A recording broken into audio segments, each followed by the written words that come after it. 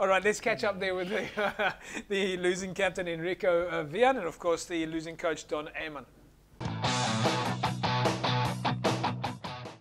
All right, folks, I'm standing here with a fairly disappointed Enrico Wiehan of Young Wesley's. Enrico, how do you feel about your team's performance today? Um, going to tell you the truth, um, I think we didn't stick to our game plan. First of all, we didn't stick to our game plan. And um, I just think Massey was strong enough today, um, made little mistakes. We didn't um, catch up on how they attack us in the field. And um, I just think um, Massey is, was the better team on the day. And tell us a little bit about your game plan coming into the game.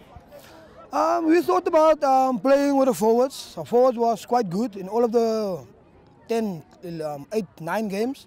Um, we used to play with the forwards. Backline is just to end it off everything.